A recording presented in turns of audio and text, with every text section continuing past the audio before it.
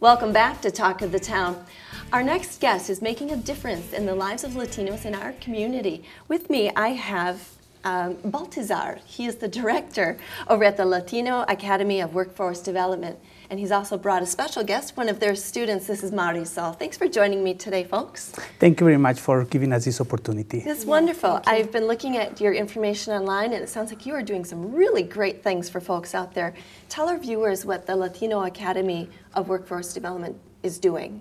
Yeah, uh, the Latino Academy uh, of Workforce Development, we are a grassroots program that provides education, training and employment opportunities for the Spanish-speaking community in Dane County.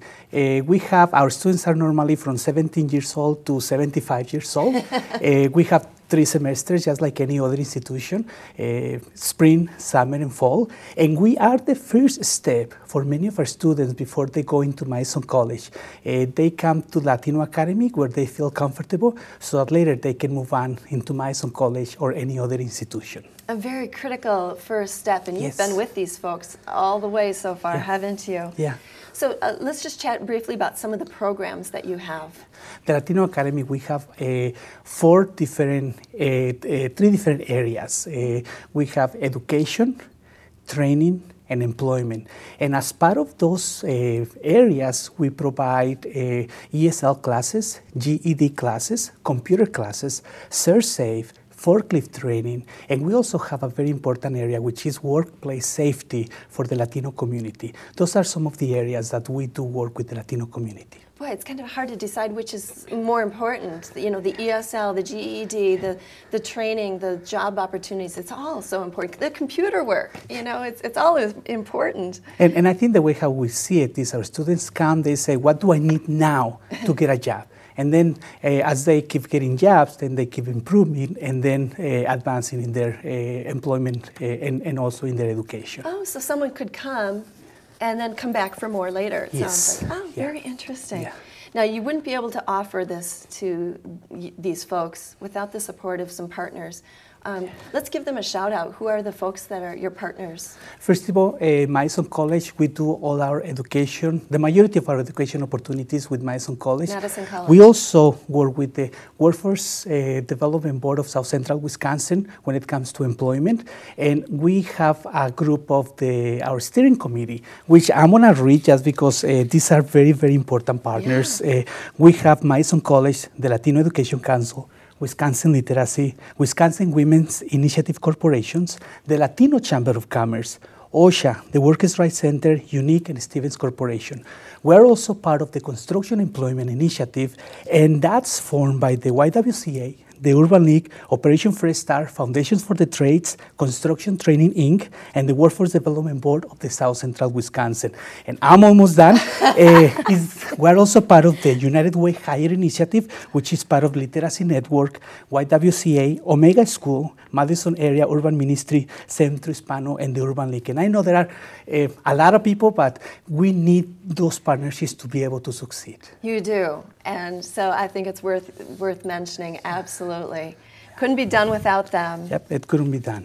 Um, you have a new program I noticed on your website. It's a, a partnership with Stevens Construction. Yes.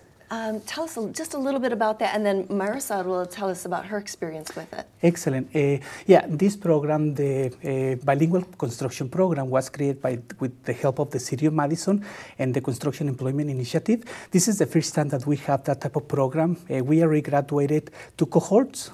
Uh, 25 graduates, the first one, 11 graduates, the second cohort. And Marisol, uh, she's one of our students, and the program is also funded by United Way of Dane County. So Marisol is one of our uh, great students who, who graduated from, that cohort. Stevens offered jobs to 10 uh, of our 11 uh, students who graduated. Oh, graduated. wonderful. Yeah. So this is a way for folks to get experience and maybe a job. Yes. And Marisol, when I looked at the graduation pictures, I saw there were many women, and congratulations to you. We Thank you just so have a much. few seconds left. Briefly, tell me what your experience was like.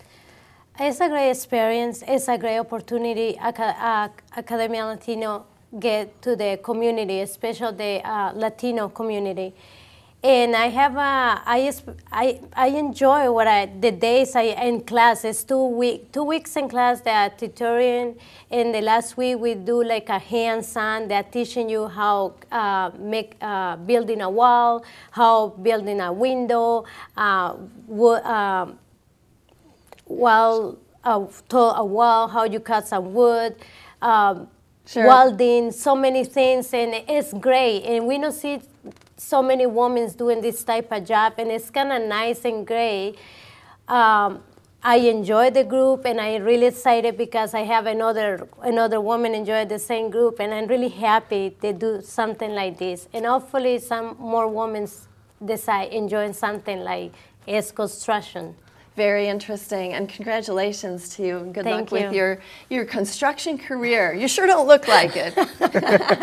we are Thank you. we are out of time. Thank you so much uh, for telling us more about the Latino Academy of Workforce Development. Very interesting. Congratulations on your work. We need to take a commercial break. When we come back, we'll be talking about hybrid electric vehicles.